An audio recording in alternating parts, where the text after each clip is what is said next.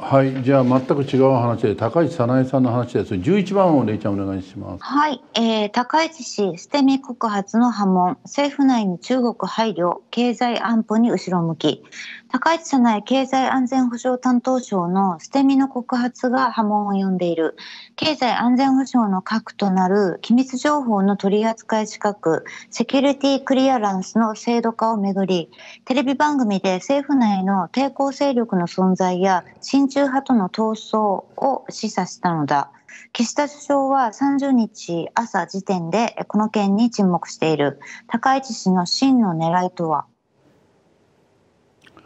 これ高市さんがその閣僚に任命された時の話ですよね。でで岸田総理からこれにはこれ出てこないけど中国ということを言うなという、言われたと言ってるじゃないですか。他の記事ではそうなってますよね。でそれ以外にセキュリティクリアランスのことについてもああんまりやるなみたいなつまり、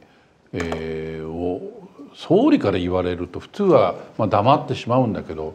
まあ、高市さんもそうそうはさせないと思ったんでしょうきっとね、えー、ああちこちで言ってますからねこれはね。もう今度私こそ高市さんに直接聞いてみようと思ってるんですけども、うん、まあ、あの単に総理と高市さんのディスコミュニケーションというかうまくいってなかっただけかもしれませんしね。と、うん、いうのはこういうことあったんですよ。うん、まあ、古い話ですけどあの加藤さんの時事通信の先輩の八山太郎さんから、はい、聞いたんですけども、八山さんがその国鉄改革で、うん、えー、中曽根内閣の国鉄改革の委員に、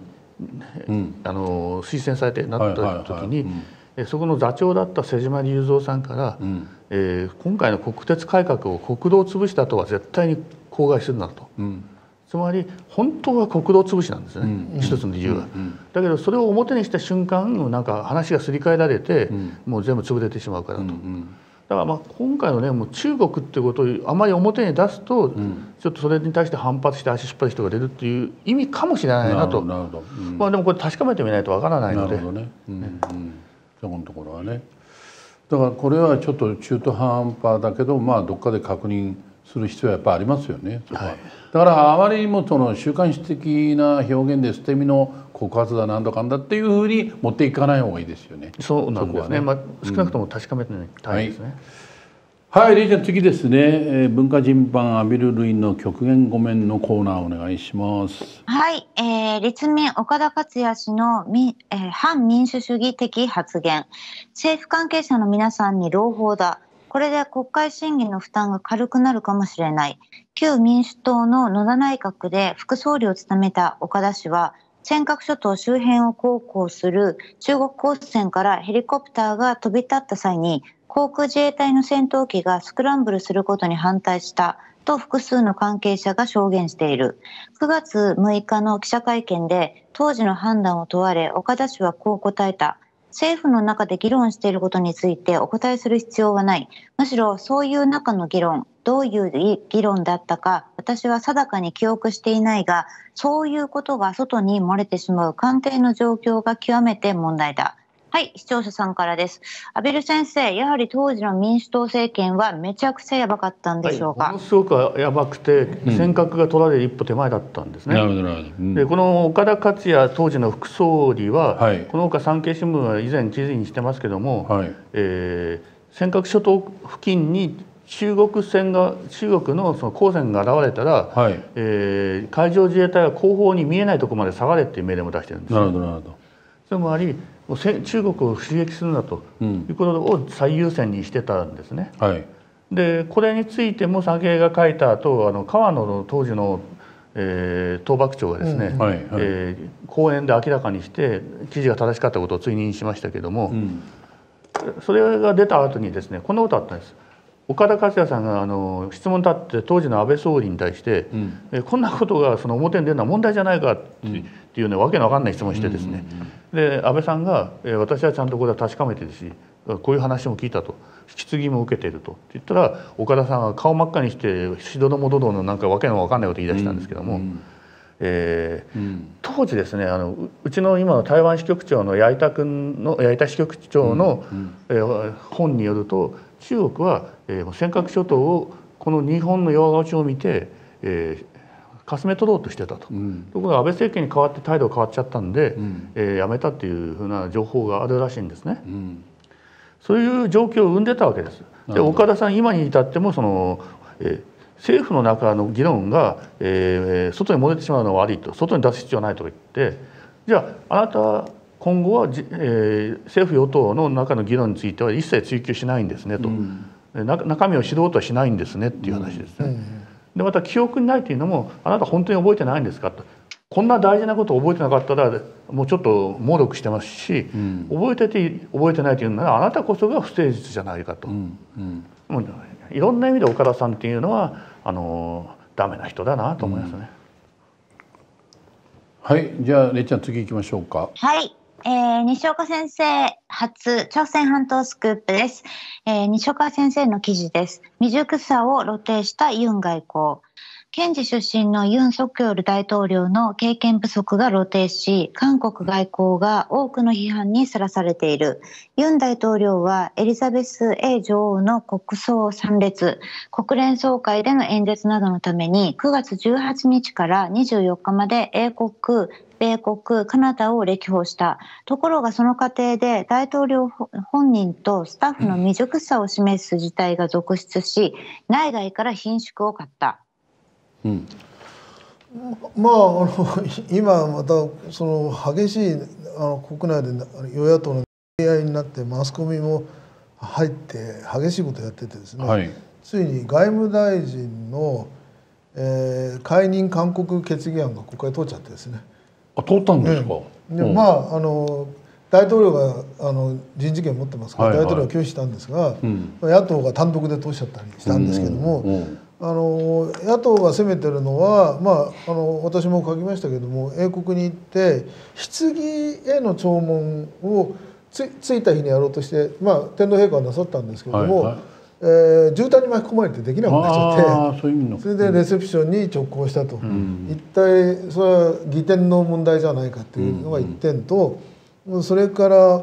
えー、っと大統領府はですねニューヨークの国連総会のところで、はい、日日韓とそれから米韓の首脳会談をやりますというふうに発表してたんですけども、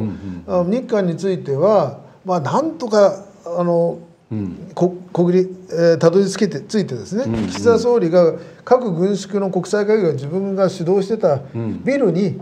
えー、ユンさんが来てでそこの控室かなんかで30分やったと。日本は懇談と言ってると。で韓国は略式会談だと言ってるということをして、それも韓国が下日本に下手に出てけしからん屈辱外交だと批判されてるんですが、米韓はなかったんです。全くなかった。で立ち話の48秒だけ。48秒 ちゃんと測ってる。まあそれはバイデンさんが日程を1日早くワシントンに帰るということのせいだと言うんですけれども、でもそうだとすればそのまあちょっと支持率が下がってて焦っててですね、うん、あの日韓と米韓できますよと言ってしまったところが失敗だったんです、うんうん、スタッフの未熟さっていうことなんですけども一番はですねその、えー、バイデンさんとの話し合いが終わった後ですね、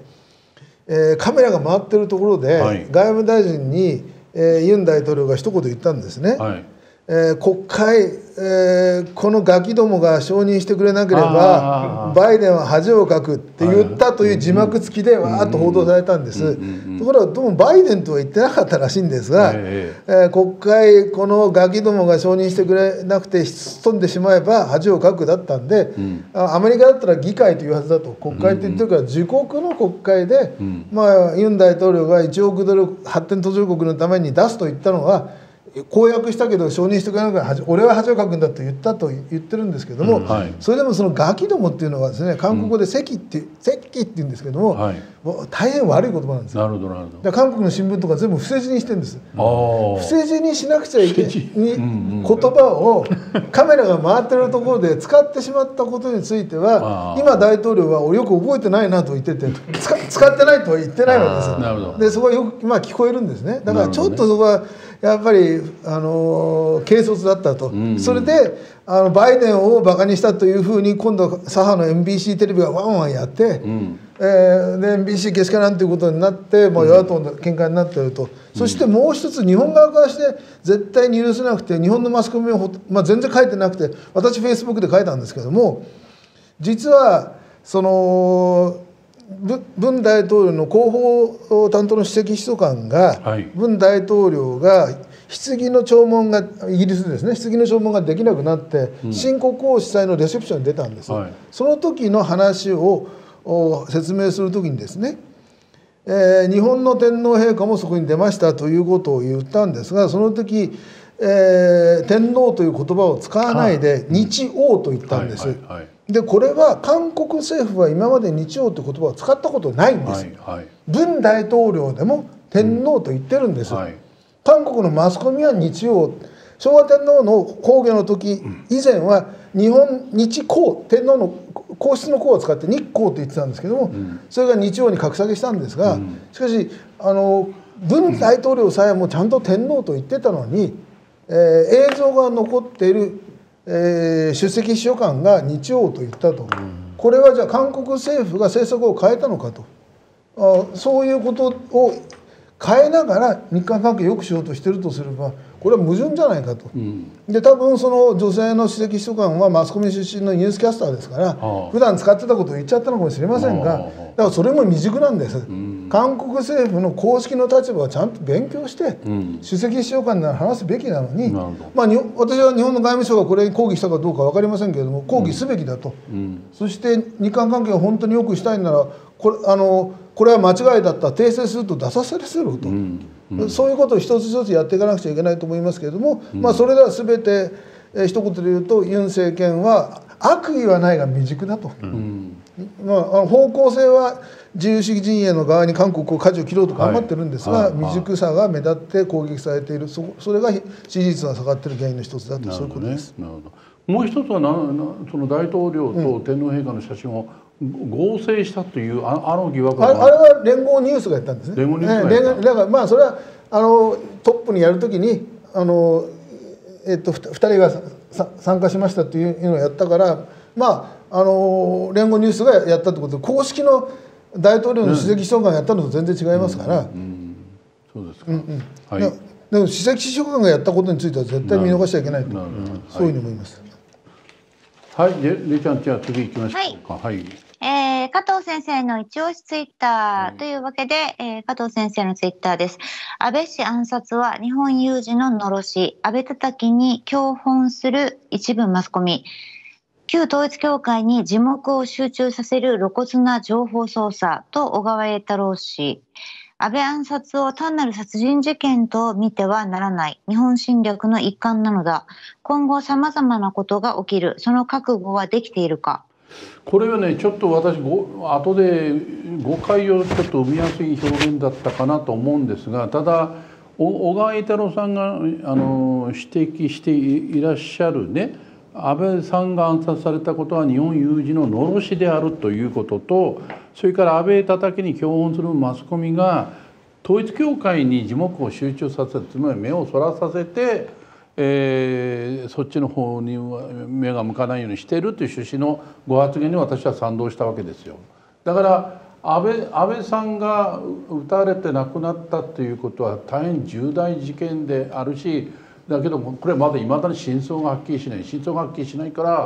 ら容疑者をまだ起訴すらできてないわけですよ。ということはまだ調べなきゃいけないことが山ほどあるじゃなければ山上単独犯行説は確定までしてないわけなんですね。まあ、そのこととするともう一つはだからどうだという陰謀説を取るんじゃなくて安倍さんがなぜあの時点で奈良で撃たれてなきゃならなかったことにはですねかなりどす黒い私はねいろんな話が渦巻いてて実はこの件をあの実は山口君が取材をしててこれに対して脅迫が相次いでいるっていうことを昨日昨日一昨日かの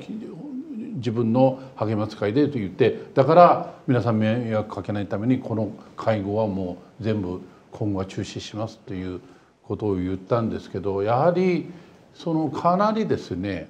真相究明をしようとする人間に対していろんな妨害があのあるのは本当に事実なんですよ。だとしたらこの辺のことも含めて真相究明にちょっと近づかなければなんで安倍さんがあの時点でわざわざ奈良まで行く必要もないのにあ奈良に呼び寄せられるような形で行った上でああいう言い方をしなきゃいけなかったかということは私はね徹底的に全力を挙げて真相究明すべきだというふうにやっぱ思うんですよ。なぜ誰がどういう意図のもとに安倍さんをしまったのかということは絶対に私はあの真実を解明すべきだというふうに思います。ちょっと話長くなって恐縮です。そしたらもうもう一個の 15, 15問ちょっと読んでもらっていいですか？そしたら。はい、えー、ロシアで動員発令後、出国したロシア人が26万人を超え、ウクライナに侵攻した兵士の数を上回ったとか、戦う気もない国民を無理やり招集して一体どうする気なのか、もう勝負はついたんだよ。だからプーチンは自ら停戦交渉とか言い出したのか、負けを認めたのも当然。これもですねまああの若干誤解を生みかねない表現、まあ、140文字の中でだからだけど私が言いたかったのは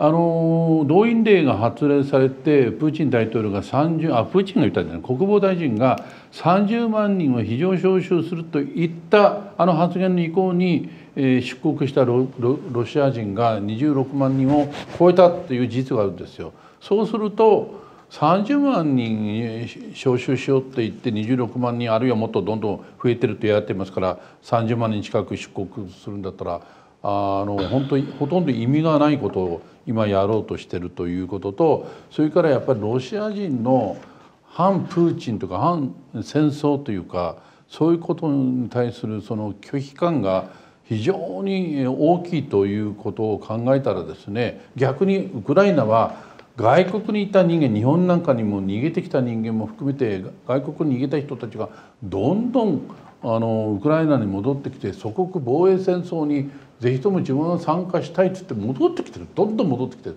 そうするとまさにロシアとウクライナは真逆のことが今起きてるわけですよ。で普通に考えてそんな国同士が戦えばどちらが有利でどっちが不利かってもう一目瞭然の話だというふうに私は思うんですよ。それなのにこういうことを書くとまあロシアびいきの方々の知識人というのかそんなことはとんでもないもうロシアが勝つのは最初から分かりきってることだっていまだに言ってる人がいるっていうのは僕のその論理とか理屈が私にはどうしても理解できないんですけども私はだから何かの宗教なんですかって最後ちょっと嫌味を変えたんだけどいや畔蒜さんの意見も聞きたいけどどうどうなんでしょうか？この辺りのことっていうのは。いやまあそうではですねもう最初からおかしいですからね。おかしいですよね。えー、えー、だからもうまあ私は全く相手してないですけどね。うんうん、だからプーそもそもねプーチンがというかプーチンは大体戦争とも言ってないじゃないですか、ね、特別軍事軍事作戦とか軍事行動とか言って戦争とすら言ってないけどでもあれは誰がどう見たところで隣国に対して侵略行為を行いウクライナ国民を残虐っ